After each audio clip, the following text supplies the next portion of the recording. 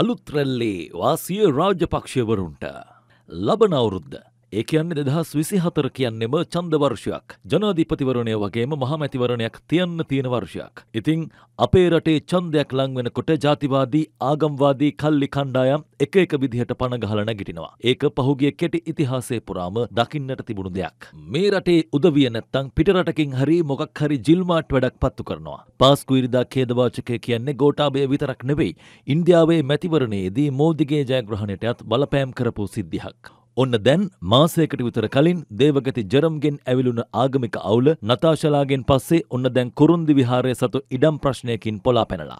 මේ අවුලනං ජනාධිපති වික්‍රමසිංහ ඉල්ලගෙන කාපු වැඩක් කියලයි දේශපාලනය ගැන උනන්දු ඇතැම් උදවිය කියන්නේ. බැලු බැල්මට නම් පේන්නේ උතුරේ දෙමළ චන්ද බලාගෙන ගහපුගේමක් කියලා. අරගලේ කාලෙ සමහරු හිතුවේ මීට පස්සේ ජාතිවාදයට ආගම්වාදයට අපේ රටේ තවත් ඉඩක් නෑ කියලා. ඒත් දැන් බලාගෙන යනකොට අර්ගලය කාලෙ හැංගිලා හිටපු අන්තවාදීන් ඔන්න දැන් අයත් කරලියට ඇවිත්. එක එක විදිහ ප්‍රකාශනිකුත් කරන්නත් පටන් අරගෙන. ගෝටාබේගේ පාලන සමේ දේශපාලන බලය අතට අරගෙන හිටපු මැදගොඩ අභේතිස්ස ඇල්ලේ ගුණවංශ වගේම මැඩිල්ලේ සාදුලා ඔන්න ආයෙත් ගේමට බැහැලා. උදේ ගම්මන් පිළලා ආයෙත් උතුරට යන්න කතා කරනවා. කොහොම වුණත් වැඩේ පත්තු වෙනකොට ජනාධීපති කාර්යාලය කිව්වේ මුලතෙව් කුරුන්දි විහාරයට අයත් රජයේ ඉඩම් වෙනත් අයට පවරාදීමට තීරණයක් අර්ගෙන නෑ කියලා. ජනාධිපති ලේකම් සමන්නේකනායක ඊයේ පහළොස්වනිදා පුරාවිද්‍යා චක්‍රවර්ති එල්ලාවල මේදානන්ද හිමියන්ට කරුණු පැහැදිලි කිරීමේ ලිපියක් පවා යොමු කරමින් මේ ගැන දැනුම් දී තිබුණා. උතුරේ ඉඩම් ගැටලු සම්බන්ධයෙන් ජනපති ප්‍රධානත්වයෙන් පැවති සාකච්ඡාවේදී තොරතුරු පටලවාගෙන ඇති බවට මාධ්‍යයට චෝදනා කරන ජනාධිපති කාර්යාලය පුරාවිද්‍යා චක්‍රවර්ති හිමි නැගු පැනයකට පටලැවිලි සහගත පිළිතුරක් සපයා තිබෙනවා. මේ සිද්ධියේදී ජනාධිපති වික්‍රමසිංහ පුරාවිද්‍යා කොමසාරිස්ව කිච කිරීමේ සිද්ධියේදී කාරණා දෙකක් පැහැදිලි වෙනවා. එකක් රනිල්ගේ ඉතිහාසය සම්බන්ධ දැනුම සහ ඒ විෂයට ඇති ඇල්ම. රනිල් තරම් මේ දැනුම කලාපේ ඇසුරු කරන ජනාධිපති කෙනෙක් අපිට මෑත ඉතිහාසයේ මුණගැහෙන්නේ නැහැ. රාජපක්ෂලගේ පැත්තෙන් ගත්තොත් දැනුම කියන්නේ විහිළුවක්.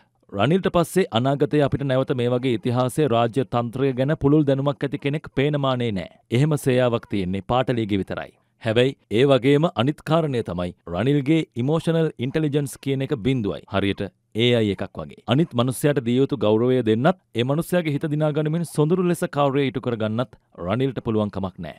පුරාවිද්‍යා කොමසාරිස්ගේ සිද්ධිය බලන්න ඉන්න කෙනෙකුට පේන්නේ ඉතාම කැතට. තමන්ගේ දැනුම ගැන උජාරුවෙන් අනෙකාට කතා කරනවත් ඉඩ නොදී බලය පාවිච්චි කරන කෙනෙක් තමයි පිටතට පේන්නේ. මේ කාරණයේදී මහින්ද රාජපක්ෂ තමයි මුළු ඉතිහාසයේම අපිට මුණගැහෙන දැවැන්තය වෙන්නේ. මහින්ද තමන්ගේ දැනුම පෙන්වන්න යනවා වෙනුවට අනෙකාගේ හදවත දිනා ගන්නවා. අපේ රටේ දේශපාලනයේදී දැනුමට වඩා වැදගත් වෙන්නේ මේ කාරණය. සජිත් වගේම අනුර වැඩියෙන් ලං වෙන්නේ ඒ පැත්තට. කොහොම වුණත් මේ එන ජාතිවාදී ආගම්වාදී රැල්ලෙන් තමන්ට වාසියක් නැති නිසා සජබ වගේම මාලිමාවෝ වැඩිය සද්දයක් බද්දයක් නෑ. ඒ දෙගොල්ලම ඔන්න ආයමත් ඉල්ලන්නේ ඡන්දයක්ම තමයි. ඔන්න සජිත් කෙලින්ම ජනාධිපතිට ගේම කෝල් කරලා ජනාධීපතිවරණයක් ඉල්ලනවා.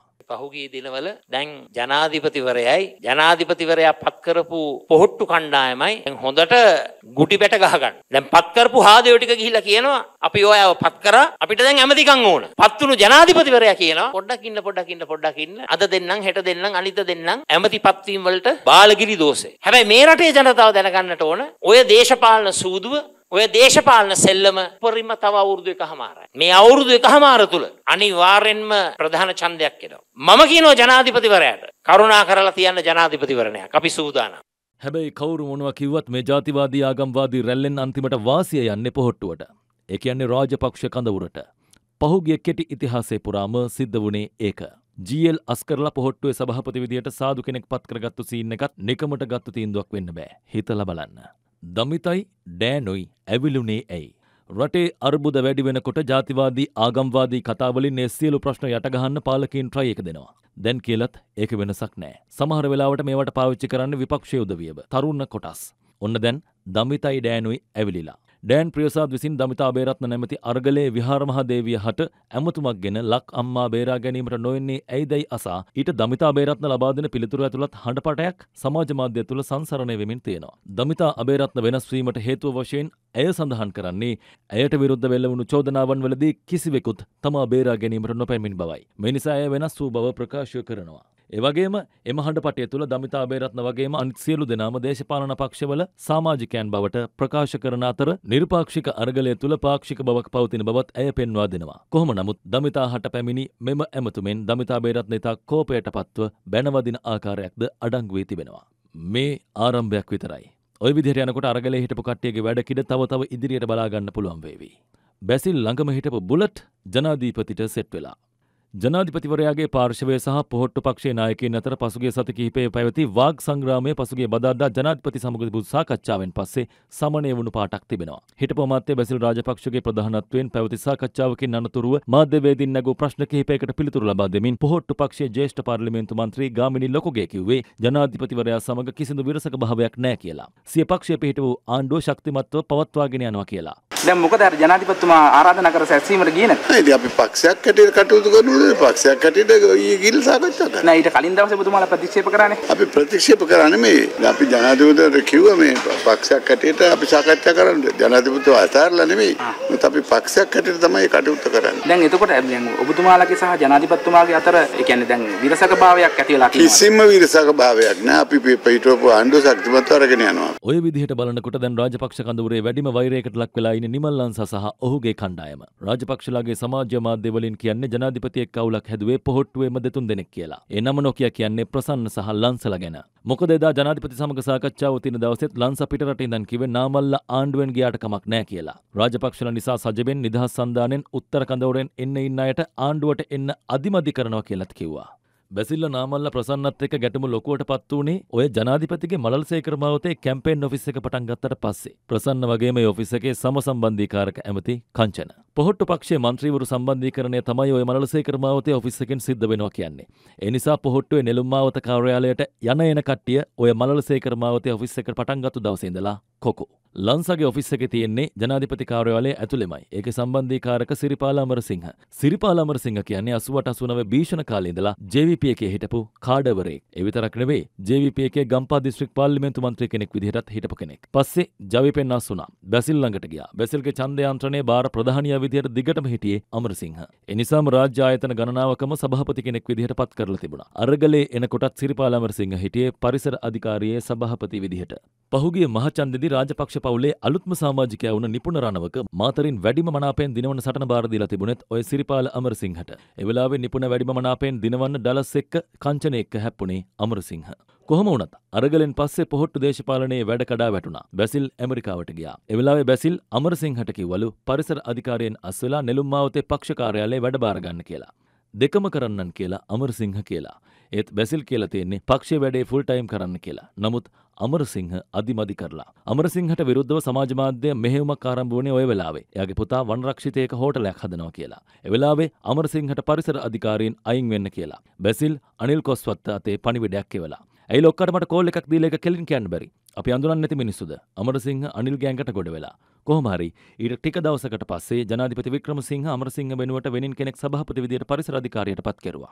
අමරසිංහ ගෙදර ආයත් නෙළුම්මාවත පැත්ත පලාතක ගිහින් නැහැ. Tamante එරෙහිව මාධ්‍ය වලින් කරපු චෝදනා ගැන අමරසිංහ හැරුණු තැපෑලෙන් උත්තර දීලා තිබුණා. මාධ්‍ය හමුවකදී වගේම විෂයභාර අමාත්‍යවරයා වෙත වගේම ඊට පස්සේ පාර්ලිමේන්තුවේ ප්‍රශ්නය ඇදුණු වෙලාවෙත් සිරිපාල අමරසිංහ ඒකට උත්තර දීලා තිබුණා. ඒ විතරක් නෙවෙයි ආරංචි විදිහට පරිසර අධිකාරිය සභාපති දුහරෙන් ඉල්ලා අස් වෙන්න කියලා මැසේජ් එක ආවට පස්සේ තමන්ගේ නිර්දෝෂී භාවය ඔප්පු කරන්න පරීක්ෂණයක් දෙන්න කියලත් අමරසිංහ ඉල්ලලා තිබුණා. නමුත් ඒ කිසිම දෙයකට බැසිල් මැදිහත් වෙලා නැහැ.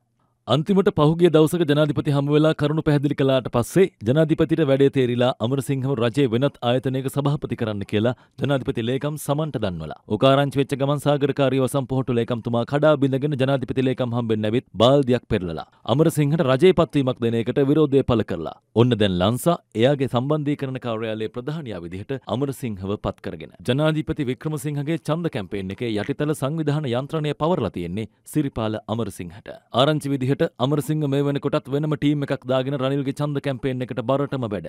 මොනව වුණත් සිරිපාල අමරසිංහගේ සිදුවීමෙන් පවා පෙන්눔 කරන්නේ රාජපක්ෂ කොණ්ඩම් තියරිය කවදාවත් වෙනස් වෙන එකක් නොවේ කියලා තමයි ඔය සිද්ධියේ අගමුල දන්න උදවිය කියන්නේ. පොදුජන පෙරමුණ අභ්‍යන්තරයේ සිරිපාල අමරසිංහ ගහපු ගේම බැසිල්ගේ ප්‍රොජෙක්ට් රන් කරවන්න කොච්චර දායක වුණාද කියලා ඒ උදවිය දන්නවා. එහෙම කරපු අයට මෙහෙමනම් අන් අය ගැන කුමන කතාද? ඒ උදවිය දැන් එකිනෙකාගෙන් අහන්නේ එහෙම. විසිරුණු වියත් මග ආයෙත් අලුත් මගක. ගෝටාබේ රාජපක්ෂ බලයට ගෙන්න ගොඩනගපු වියත්මග සංවිධානය මේ වෙනකොට දිය වෙලා ගිහින්. සංවිධානය විතරක් නෙවෙයි ඒකේ හිටපු නායකයොත් නන්නත්තාරයි. ඒත් ඉතා විශ්වාසවන්ත කටයුතු ආරංචි මාර්ග වලින් වාර්තා වෙන්නේ ගෝටාබේ සමග සමීපව හිටපු සමහරු දැන් ආයෙත් එක්කෙනා දෙන්න ගානේ සෙට් වෙන්න පටන් අරන් කියලා. ඒ ආරංචි වල හැටියට ඔය වැඩේ අතට අරගෙන තියෙන්නේ හිටපු ජනාධිපති ගෝටාබේ එක්ක සමීපයෙන්ම හිටපු තරුණ ක්‍රියාකාරකෙක් සහ තරුණ සාදුල කණ්ඩායමක්. ඒ තරුණ කණ්ඩායමේ කීප දෙනෙක් ඔය ගැන මේ වෙනකොට වෛද්‍ය සීතාරම පොළ සහ අනූපපියුම් පැස්කොල් රාජ්‍ය අමාත්‍යවරුන් සමග මූල්ලික සාකච්ඡාවකුත් කරලා ප්‍රතිඵල සාර්ථකයි කියලායි කියන්නේ. හැබැයි ආරංචි විදිහට ඔය පෙරමුණ හදන්නේ ගෝඨාභයව ආය දේශපාලනයට ගේන්න නෙවෙයි. කට්ටියට ගොඩ යන්න බලාගෙන. මොකද ලබන සැරේ ගෝඨාභයට ගෑවුන කිසිම කෙනෙකුට පොහොට්ටු ජාතික ලැයිස්තුව තියා නාම යෝජනාවක් ලැබෙන්නේ නැහැ කියලා සීතල පැස්කුවෙල්ලා හොඳටම දන්නවා. ඉතින් අලුත් පෙරමුණක් හදාගෙන රනිල්ට සහය දෙයිද? දිලිත්ට සහය දෙයිද? ඒ ගැන කියන්න නම් කාලය වැඩි. ඒත් මොන මොනවද වෙමින් පවතින බවක් නම් පේන්න තියෙනවා. දේශපාලනය කියන්නේ කාටවත් මොකක් ගැනවත් සහතිකයක් දෙන්න රක්ෂණයක් දෙන්න පුළුවන් කාරණයක් නෙවෙයි. දේශපාලනය කියන්නෙම බලය.